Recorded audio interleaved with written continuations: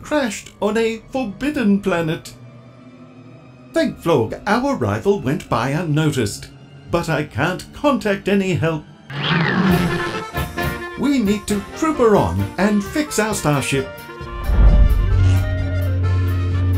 It seems we're in proximity to the metropolis of a native tribe.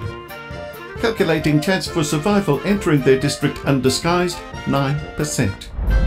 Other predators seem to lurk around here as well. They are bristled, have claws, teeth, and pimples. Snatch a body as your avatar and mimic one of these things. I'll program a translation matrix for their primitive language.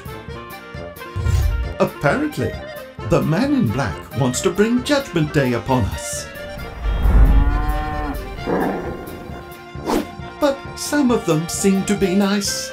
Maybe we could establish first contact.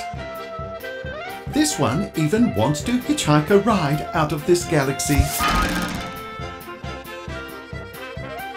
Anyway, let's move, or we will be stuck on this planet forever with these Kelvis apes. There's no plan B to success. Unless, of course, you're from outer space.